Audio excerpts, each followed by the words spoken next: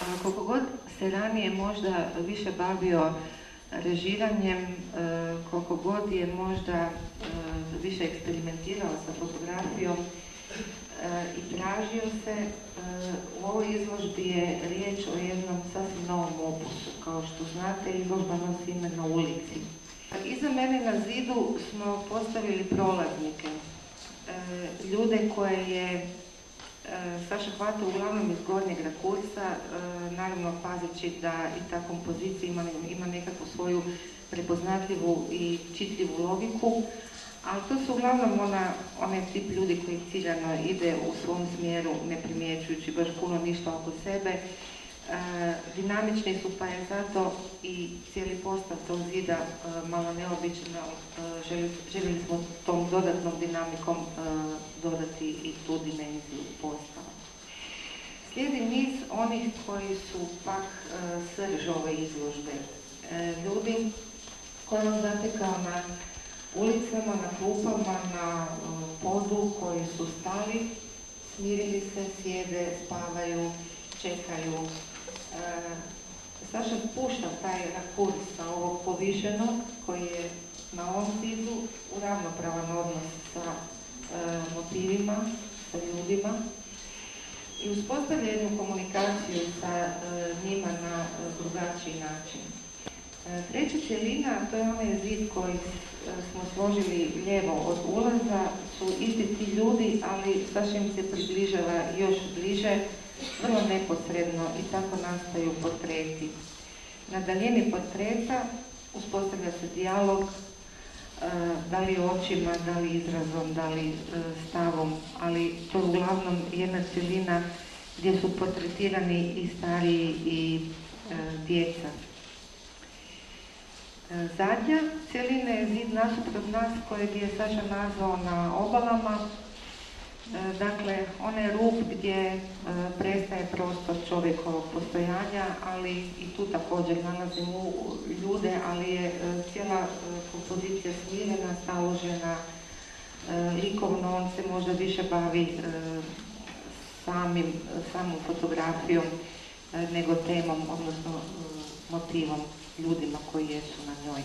U svakom slučaju mislim da o izložbi ste sve čuli od Jolande i ovaj, da se od mene ne očekuje da ja govorim o, o slikama, iako ona na brzinu što sam vidio ove fotografije, barem ono što mene fascinira i kroz katalog i kroz te slike su upravo ti znači ljudi na ulicama, na ulicama koje mi obično prolazimo u, u Jurnjavi trčeći svojim poslom ili nekim drugim aktivnostima i vrlo često ne uočavamo niti te ljude, niti te detalje, a fascinantno je to da kad pogledate te slike, da su one praktično jednake, bez obzira da li su napravljene u Rijeci, Firenci, Pragu, Londonu ili negdje drugdje, malo odskaču one koje su iz ove, iz ove serije na obali, jer one imaju jednu zajedničku crtu, a to je, to je more, što vjerovatno ovaj Prag, Prag ili Firenca ili Firenca nemaju, ali e,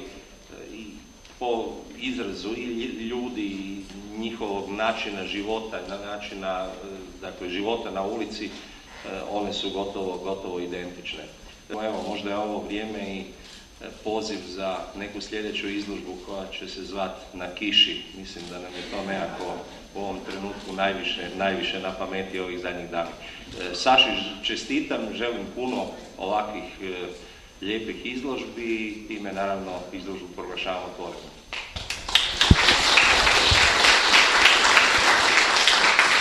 Vjerujem da su vam kao autoru uglavnom sve fotografije jednako drage, ali budući da su nastale na različitim mjestima, možete nam možda reći da li je, koji je proces fotografiranja na kojem mjestu bio najzanimljiviji? U, teško pitanje. Teško pitanje. Morao bi malo se osvrnuti i razmisliti, evo, ne, nemojte mi zamjeriti. Evo, možda bi izdvojio ovu fotografiju u koraku. Ona je nastala 2005. u Splitu. Našao sam jednu povišenu poziciju iznad, iznad jedne stare gradske ulice, što se vidi iz založenog, gdje sam ja uporno fotografirao jedno 45 minuta. I onda u jednom trenutku je naletio ovaj pare. Koji je kao iz jednog drugog vremena i jed- jednostavno nije mi, nije mi ovoga po ničem se ovoga, bio blizak ostalim prolaznicima koji su prolazili prije ili poslije njega, njih. A isto tako hvatao sam upravo moment gdje oni prelazi iz ovog jednog ravnog dijela u ovaj dijagonalni dio, kocke. Znači to mi je bilo nekakav ono kadar koji sam, koji sam imao, a onda sam čekao prolaznike koji će ući u taj kadar i biti na neki način interesantni ovdje i sa svojom kretnjom i sa svojim outfitom. Eto. Da li mislite da fotografije napravljene na različitim ovim lokacijama odišu nekim istim duhom ili je to različit duh ovisno o lokaciji? Pa ima, ima i različite duha, ali, ali u principu uvijek je u, u fokusu čovjeke. I čovjek je više manje isti, da li je to Prag, da li je to Hrvatska, da li je to London. Znači, tu su male, male nijanse. Znači, ja uvijek hvatam fotografiju prema, ne, ne- prema nekom svom senzibilitetu. Je. Znači, to su, to su otprilike takvi kadrovi koji su opet vrlo kompatibilni jedna s drugim bez obzira gdje su nastali i kada su nastali. Imate li neku preferenciju u odnosu na boju ili crno-bijelu fotografiju? Pa većina fotografija ovdje je crno-bijela je. i nekako fotografiju ulice mi paše crno-bijela, naravno osim tamo gdje je boja bitna da, da ostavim fotografiju u boji. Znači ipak preferiram više crno-bijelu fotografiju, ali naravno ne zaobilazim ni boju. Ovdje smo imali fotografije sa ulice, da li imate nekakvu ideju ili viziju kakva će biti vaša neka buduća izložba? E, pa imam, ali ne bi sad s tim izlazio u javnost, nemojte se ljutiti. Ok, hvala lijepo. Hvala vama.